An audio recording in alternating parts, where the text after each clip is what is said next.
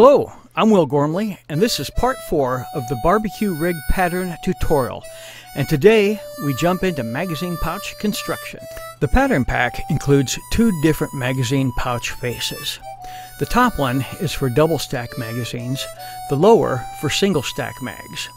Select the mag pouch components you need. The tabs on the sides and bottoms need to be skived down from the dotted line to the ends of the tab. I always skive from the back of the leather to maintain the strength and integrity of the solid grain surface. The skiving can be done after the pouch faces have been colored and treated, since they will be cemented between the layers of the pouch mounting panel and the belt clip mounting panel. It's best not to oil the tabs from the skiving line to the ends, since the contact cement will bond better with an unoiled leather. To help ensure centered mag pouches, mark a center reference line between the tab slots on the back of the pouch mounting panel. The next step is to insert each tab into its corresponding tab slot, starting at the bottom and working your way up both sides. Insert the tabs as far as they will go. This magazine pouch is being constructed for single stack magazines. The flexibility of the barbecue rig magazine pouch construction is illustrated with this particular example. On the right is a 45 caliber magazine for 1911. On the left is a 22 caliber magazine. The same single stack magazine pouch face is used to create secure mag pouches for both, as well as every other single stack pistol cartridge magazine.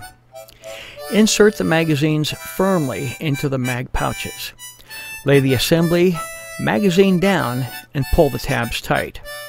With the tabs pulled as tight as possible, lay each tab over the center line and mark them for length.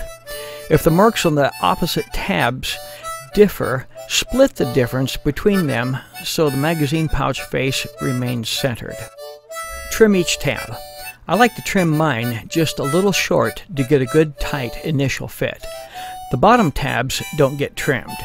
The back of the pouch mounting panel is marked where the tabs belong. The lowest side tabs will be cemented over the bottom tab. Apply contact cement to the bottom tabs and allow to cure according to instructions on the can. Press bottom tabs firmly in place then apply contact cement to affix the rest of the tabs. After contact cement has cured, begin aligning the tabs with the center line and pressing in place, beginning at the bottom.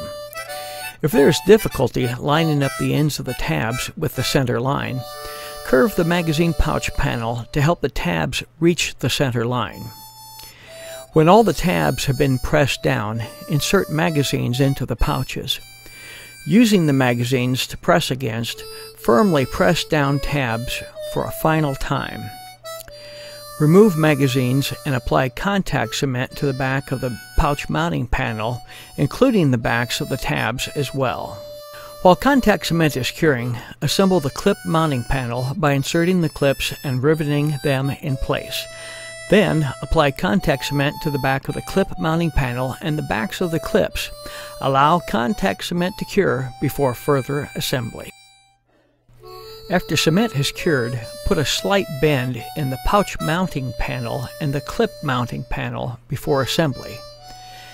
Getting perfect alignment is important, so I place both panels on a smooth surface with cemented areas facing each other. Using the smooth surface as a guide, I carefully align the near side of the panels. The curve in the panels helps to keep the other portions of the panels from accidentally making contact. With one side contacted, I carefully begin contacting the opposite side. When both sides are contacted, I begin to contact the top. With the top contacted, I turn it upside down and contact the bottom. Firmly press all edges together, then the interior of the panels can be pressed together. Once the panels are cemented together, place the assembly in the stitching horse and punch the stitching holes. Then, sew that baby up. With the barbecue magazine assembled, the edges can be burnished. Again, I'm using gum tragacanth and a hand burnisher. As a side-by-side comparison of mag pouches made for two different calibers with the same pattern components, we have the 22 caliber mag pouches on the left and the 45 on the right. That concludes this series of tutorials on the barbecue rig pattern pack. I hope this helps everyone get the most enjoyment and accomplishment in manufacturing the barbecue rig.